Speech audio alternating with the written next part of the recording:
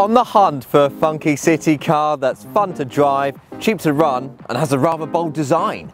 Well, meet the Toyota Aygo and in today's review we'll find out together if truly great things come from such a small package.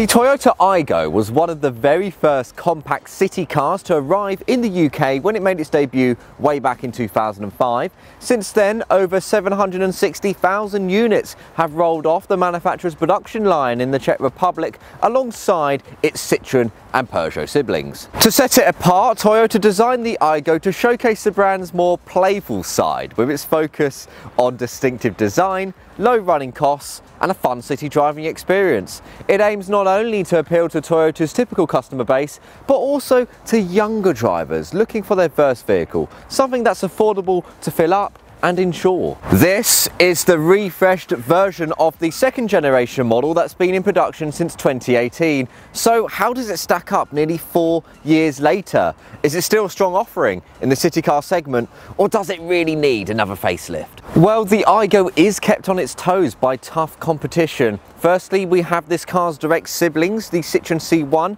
and Peugeot 108, both very popular variants in the European market. Then there's the Korean rivals, the smart Hyundai i10 and the absolutely gorgeous Kia Picanto. And then we have the comfortable Skoda Citigo and the Volkswagen Up, both of which offer a sophisticated take on this compact form factor. So is this refreshed version of the second generation Aygo your perfect next car? In this in-depth review, we're going to help you decide exactly that by exploring the exterior and interior design, how much stuff you can fit inside that boot, the technology and safety features on offer, the driving experience, pricing and trim levels. We'll start then with the exterior design by taking a look at that striking front end. To me, this is the most appealing aspect of the exterior, but let me know what you make of it in the comments below. I just absolutely love this X shape and the 3D effect that's going on here. How the headlights just merge around the sides and nearly collide into that Toyota badging displayed really prominently in the center there. It's a really bold look and in my opinion, it's the best looking city car on the market at the moment. The headlights then, unfortunately they're not LED, they're just halogen. Uh, the daytime running lights are LED though, and if you opt for the X Trend or X-Clusiv trim levels, they are the highest spec variants, then you get front fog lamps down here. I've got the entry level X-Play variant with me today, so I don't have fog lamps. Um, in their place, I've just got a plastic cap, which I could probably pry out if I wanted to. Let's take a look at this colour then because it really makes the exterior come alive. This is Red Pop and it's a solid paint and it comes as standard so you don't have to pay anything extra when you configure this car.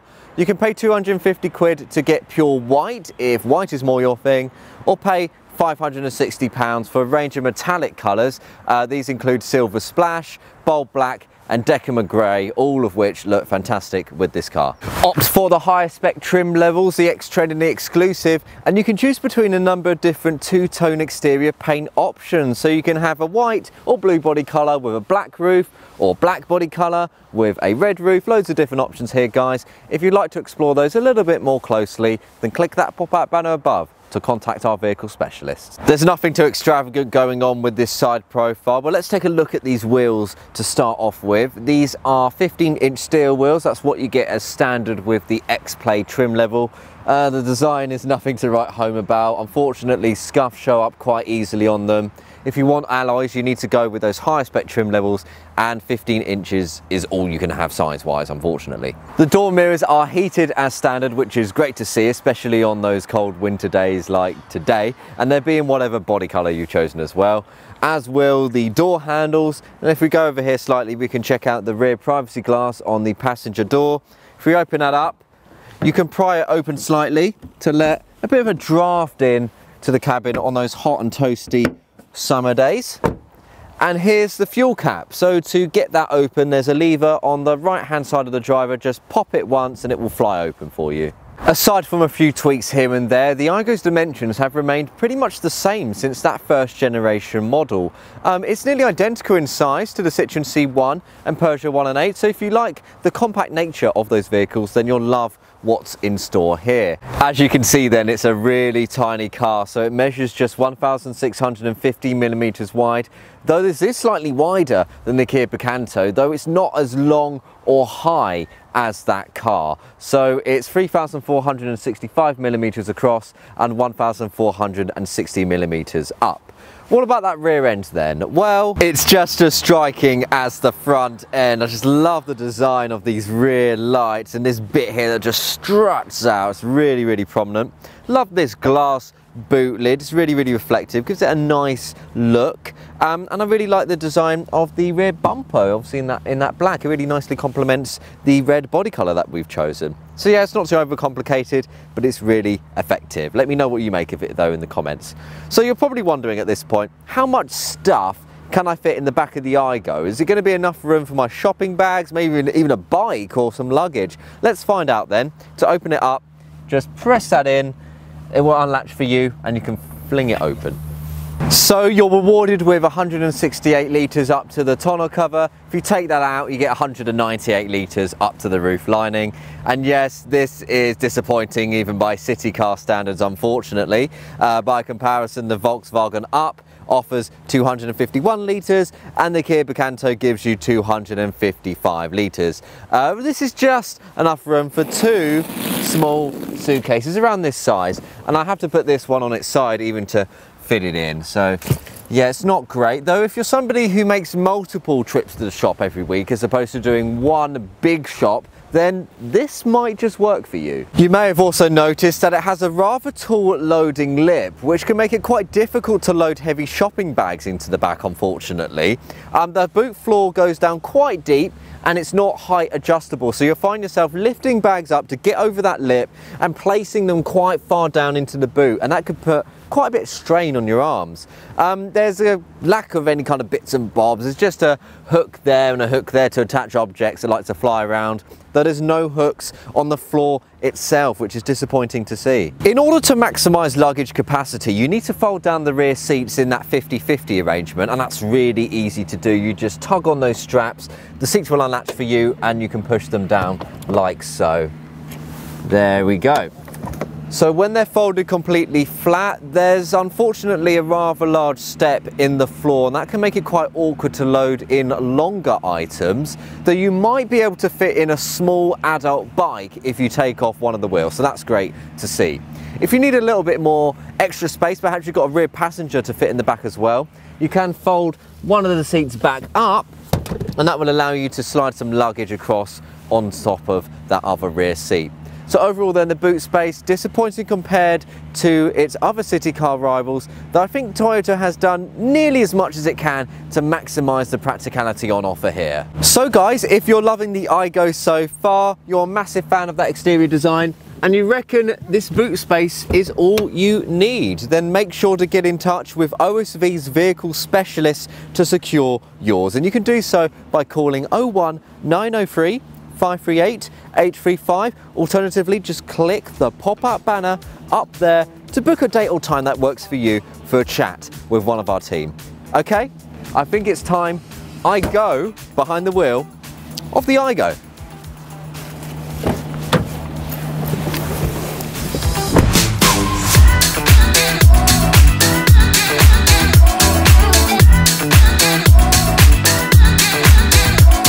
Car is designed for city driving and as such it just absolutely excels at it. The uh, 1 litre 72 horsepower engine under the bonnet here does a great job at giving you enough oomph for pottering around town to the local shops, though it does struggle a little bit to keep up to speed with fast moving traffic. The uh, 5-speed manual gearbox. Is quite nippy, um, it speeds up to around 30 miles per hour, though anything faster than that you will find yourself revving quite hard um, in order to sort of keep up with that motorway traffic and get up those steep inclines. So the Aygo is a really comfortable city car to drive around town. Uh, when manoeuvring around a roundabout, you don't really jostle around too much, and that's thanks to these side cushions here that nicely hold you in place. And generally speaking, motory, uh, motorway driving is pretty calm. Though I will say when you drive over a pothole or slight imperfection in the road, like a crack in the road, something like that, you will feel the impact of this reverberate uh, throughout the cabin. It's not great at handling these kinds of surfaces. So the steering is quite light, but it feels responsive at the same time. It's actually 14% sharper um, than the previous model, which is great to see. Um, this means it's really easy to nip into tight spaces in our traffic and carefully navigate into a tight parking space as well. I think you'll really enjoy the steering. It's not as hard as you'll find in its rivals and it's not too light as well so it doesn't lack any kind of feel with the front wheels. It's that nice balance. So the Aygo grips really nicely, especially around corners and that's thanks to the really tight turning circle of 10.2 meters. You'll find out here as we just turn into this uh, into this junction here. Really smooth, kind of effortless for this car to be honest. So a note on wind and road noise then, um, taking on feedback from Toyota customers about the previous gen model, uh, Toyota's engineers uh, wanted to improve wind and road insulation in order for the engine to be heard a little bit more clearly because customers really love the sound of that three cylinder engine and it's not hard to see why it's a definite selling point of the Aygo. So what is so how um, has road and wind noise been improved then? Well it's pretty good to be fair. Um, driving at high speeds hardly notice any road noise seeping into the cabin. Now you do get a little bit of wind noise um, coming from the uh, front window can whistle at times on a particularly windy day which is a little bit distracting but if you put the radio on something like that just to drown that sound out then you shouldn't have to worry about it at all the Aygo offers fantastic visibility. I've got a great view of the road ahead of me and that's thanks to the rather lofty driving position. Uh, the rather thin side pillars here and the reasonably large door mirrors gives you a great view of your blind spot and what's around you. The view at the back, while not as great as a VW up, it's not bad. I can see reasonable about uh, amount of the road behind me. Um, you get a reversing camera as standard across all trim levels, though you do have to configure rear parking sensors as an optional extra. It's a little bit disappointing, but it is nice to pop that camera on when you're reversing out of a tight space and it gives you that extra bit of security. I'll just talk about safety for a little bit then. So as standard you get lane departure warning. This alerts you when you start to exit your own lane, um, it will just alert you of that and put you back on the straight and narrow. You also get automatic emergency braking, so if you incorrectly judge the gap between the you and the car in front of you, it will brake to prevent any kind of rear end collision there. And these just help, help to improve overall safety. Um, the Aygo has been awarded four stars by Euro NCAP for overall safety, um, which is pretty good. I mean, a lot of cars these days that are coming out are getting five stars because they're absolutely loaded with safety tech. Um, but compared to some of its rivals, the Aygo does fall short in overall passenger safety. So that is something to to uh, take into account there, and that's likely because it just lacks some of the other safety features that its rivals now have. Okay guys, let's head back to our car park. You've probably seen the infotainment screen uh, flash up a few times in the shot, so let's explore the interior a little bit more closely. It's time to talk about the interior then. So the material quality on offer isn't as high as you would find in a sophisticated offering like the Hyundai i10 for example. There's a fair amount of cheap plastics dotted around the place here but having said that the build quality is really really solid. Um, it doesn't feel flimsy, the plastics are nicely held in place and there's a decent amount of material variety as well. You've got some nice uh, gloss black surrounds on the side vents here and surrounding the infotainment screen there. Nice bit of stainless steel on the uh, gear lever and a bit of the exterior body colour seeps into the cabin on the doors there. Really, really nice touch. So it's nothing extravagant, nothing over the top and I think it's all you need it to be really, it does the job.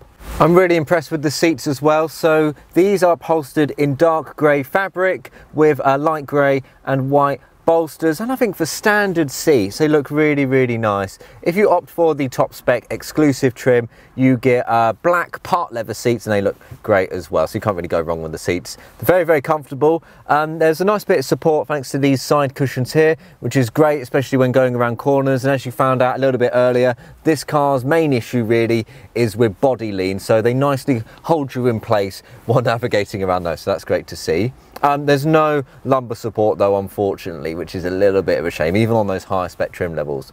Uh, adjustability is fine. It's really easy to find a comfortable driving position. Just use the levers on the right hand side to prop yourself up or down.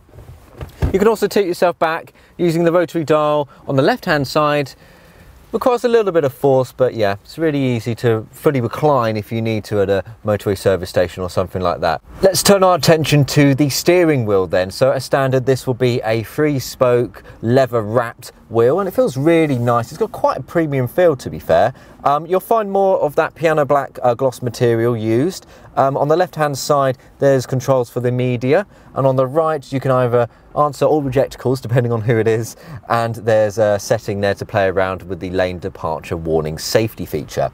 Just behind the wheel we've got a really interesting and funky looking cluster for uh, the driver display and it shows all the information right where you need it. There's a tiny little screen in the middle there, in uh, just in the center of the speedometer, and that shows basic info like the temperature, how much fuel you've got left in the tank, and how many miles you've covered so far. The speedometer is massive. It's really easy to see how fast you're going, which is obviously very helpful. On the left-hand side, you've got a rev counter. On the right, it actually shows you when you should shift, so you can maximize fuel efficiency as much as possible. So yeah, it's great to have all this key information right where you need it, right in front of you.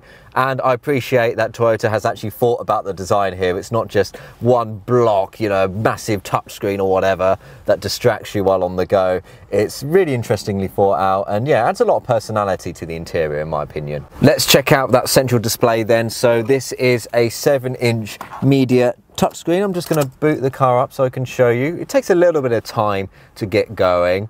Um, it's pretty basic, there's no maps or anything on there. All you can do is just connect your phone up via Bluetooth. Um, you can also take advantage of Apple CarPlay and Android Auto, though this is a wired connection and you'll plug your phone in uh, using the USB port down there. Uh, the Bluetooth is really, really easy. It takes about 20 seconds to connect to your phone, faster than vehicles that cost three, four, five times the price as the uh, so that's really good to see. Um, it's very easy to navigate around as well. The screen is nice and sharp. The options are large enough to see while on the move. Very, very clear and it's responsive as well. There's hardly any lag at all. Let's make our way down the center console then. So just below the screen, we've got the climate controls and it's great to see that they're all physical buttons. So they're really easy to use while on the move. They make a rather satisfying click sound as well, which is great. Uh, you can angle the vents towards you, you know, towards your feet, or you can heat up the windscreen. So it's nice to have those different options. Uh, just below that, then we've got the aforementioned USB port uh, for plugging in your phone. Um, there's an aux port next to that, and there's a 12 volt socket for plugging in a, a laptop or a tablet. Below that, we've got a couple of cup holders. That's a good place to put your keys when you're sitting in the car idly. Um, in front of that is a reasonably sized tray for a smartphone, though a lot of phones these days are much bulkier than the size of this tray, but it'll fit things like sweets and other bits and bobs. We've opted for the five speed manual gearbox. So this is the uh, gear lever here. As I said earlier, I really like the chrome surrounds on it and it's really easy to uh, make gear changes while on the move. Got the uh, handbrake down there and just behind it you've got another cup holder though you should probably save that for the rear passengers so you don't annoy them too much. Final bits and bobs for the front here then. So the glove box is pretty cavernous. You can fit quite a lot of stuff in there, perfect for your manuals, but if you want to take those out, you can fit, you know, packets of crisps, uh, sweets, whatever you want in there really. The air vents, nicely designed, simple but effective. And the door bins are okay. I've got my uh, water bottle just shoved in there at the moment. It fits, but it's not a comfortable fit. It's tight though, so it's not gonna come out while on the move. Uh, you just have to wedge it in there and it'll be fine. This is a city car after all, so I'm hoping you're not expecting SUV levels of space in the back, but how much space do we actually have to work with? Well, let's hop out and we'll take a look. As you might have expected, it's pretty cramped in the back here, and I'll tell you why, starting with legroom then. So I can't stretch my legs out all the way, just about halfway, so it's not bad, it's just not great. Um, you'll see then I'm sitting in a rather awkward position where my knees are quite high up, they're nearly touching my chin. That could get a little bit uncomfortable on longer journeys, um, and they are nearly touching the lining of the seat in front of me, uh, though that's not too bad actually because the uh, lining here is pretty soft and squidgy, so that's fine. Uh, the seats themselves are quite spongy, so they're pretty comfortable which is great to see. What's headroom like then? Well, I'm 5'8", so I've got a little bit of space to work with up here. If I simulate someone who is much taller than I am, let's sit up a little bit. It's like a six foot passenger. You can see that the tufts of my hair just about touching that roof lining. So again, can be a little bit uncomfortable for those long journeys and adults are certainly gonna feel hemmed in in the back here. If you have small kids, then you can strap them in using the Isofix fittings on either rear seat. And I do need to point out the headrest because I actually really like this. So if you push that down, it will slide all the way down for you goes down pretty far, goes all the way actually. And you can just hold it there to slide it all the way up, though it does get caught on the, the roof lining, unfortunately. On this seat, it seems to be fine on the other one. Um, you can't slide down the window fully as such. It's just that latch that um, I, sh I, showed you earlier. So there we go. That's what it looks like from the inside. Um, just, you can let some air in on a hot, win hot winter's day, hot summer's day. Try not to trap your fingers in there as you shut the window. And you get a small door bin just down there. It's probably enough room to fit a 250ml bottle, nothing larger than that. It's not a whole lot of space, but it's nice that there is space in the back for those little bits and bobs. Um, there's also that cup holder down there for the rear passengers to fight over. From the rear space then, which we knew was going to be cramped because it's a city car, I'm really impressed with what's on offer inside the Aygo. If you have any more questions that need answers or you just like a little bit more information, then do make sure to get in touch with OSV's vehicle specialist. They'd be more than happy to help you out with anything that you need. So make sure to get in touch on 01 903 538 835 or you can click the pop-up banner. It's just hanging out up there to book a date or time that works for you for a quick chat. Okay, then we're going to talk about the engine on off and to do so we need to head round to the front passenger side and just flick that latch. So if you would excuse me, I'm gonna go do that now. And that lever is pretty tricky to find. It's really well hidden. So let's open up that door. You're gonna have to crouch down and it's right to the left-hand side of the passenger side. There we go. Pull it once and it will unlatch for you. So let's open this up. There's another lever there and we can prop this open like so. So there's just a single powertrain option with the Aygo and you get that familiar one litre uh, three cylinder VVT-i unit and this is the same one found under the bonnet of its predecessor though a few refinements have been made uh, to this Mark II model to improve responsiveness, handling and fuel efficiency. This unit can be had in either manual or automatic and we've opted for the former so we've got 5-speed manual here. Uh, this outputs 72 horsepower and 93 newton meters of torque. It achieves a maximum top speed of 99 miles per hour and it can do 0 to 62 in just, well not just, but it can do it in 13.8 seconds and that's 4 tenths of a second faster than the previous previous gen model. Um, as you found out in the driving experience section then, it's really nippy at getting quickly off the block and slipping into tight gaps in the traffic, though you will find yourself sluggishly building speed on a motorway, you know, trying to merge onto a motorway. So that is something to take into account. The Aygo is fairly fuel efficient. So Toyota claims from 53.3 to 57.6 miles per gallon. This is optimistic but achievable. Uh, ultimately, depends on the kind of driving that you do on a day-to-day -day basis. If you're somebody who travels to work uh, you live in the city and you rarely go above 30 miles per hour, then you could achieve that uh, top range miles per gallon figure. Um, also, if you shift when the car tells you to shift on the dash, then you could get close to that figure as well. So yeah, ultimately it depends on the kind of driving you do. CO2 emissions are pretty good too. So the Aygo outputs around 114 grams per kilometre of CO2 on the combined cycle. Though as I explained earlier, there's only one engine offered. So the Aygo currently isn't available as a hybrid or electric car, which is unfortunate. It means you kind of take advantage of one of the lower company car tax bands, but yeah, as it stands, not bad. Thinking about opting for automatic, well, thanks to the slightly shorter gear ratios, it's actually better than the manual transmission at building up speed around town. Uh, performance stats are pretty much identical to manual, though it does take a little bit longer to get from 0 to 62. Expect around 15.1 seconds, not bad, but a little bit longer. The automatic transmission is slightly less fuel efficient than manual. Uh, Toyota claims from 51.3 to 54.3 miles per gallon, and it emits slightly more CO2 at around 119 grams per kilometre. Um, and to be honest, I would encourage you to weigh up whether you need automatic. Of course, if you just prefer it over manual because it's easier, then that's fair enough. But because this is a city car and it's really easy to do those gear changes um, in manual anyway, um, I would just, I would consider uh, getting that manual transmission. It is really fun, and of course you do benefit from, from better fuel efficiency and lower CO2 over automatic. That's it for the engines guys. If you have any further questions then get in touch with OSV's vehicle specialist. They'd be happy to answer any of your questions to help you make that all important purchasing decision.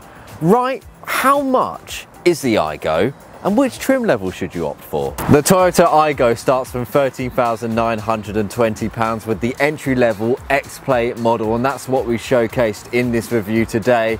And it's all that most buyers will really need. It comes with a really generous amount of standard equipment, including those 15 inch steel wheels, heated door mirrors, electric front windows, smartphone integration with Apple CarPlay and Android Auto, Bluetooth and DAB radio and those things are integrated with that 7 inch media touchscreen that comes as standard regardless of which trim level you go for. So if you're somebody who doesn't need all of the bells and whistles out of the next vehicle then this is a fantastic option. Next up the ladder is the mid-range X-Trend trim and that starts from £15,085 there's a few upgrades over that entry-level model. Uh, these include the 10-inch black machined alloy wheels, which are 10-spoke, look really, really nice. There's a bit more privacy glass as well. You get automatic headlights, and this is where you can take advantage of the two-tone color schemes to really personalize the Aygo to your needs. So if you're somebody who wants to really customize this car, then this is the trim for you. The top spec X-Clusiv trim starts from £16,270 and climbs up to £17,000 when configured with the X-Shift automatic transmission. And with this you get the uh, 15 inch black machined alloys though these are now double spoke look really really nice. You get those customization options as you do with the X-Trend trims and you get a few extra bits as well. So you get smart entry, uh, push the start button and automatic air conditioning. So if you're somebody who wants to maximize the Aygo as much as possible, get the most out of it, then this is a trim level that you go for. So guys, should you buy, lease or finance a Toyota Aygo? Well, I've had such fun with this car over the past week and it's a really exciting city car.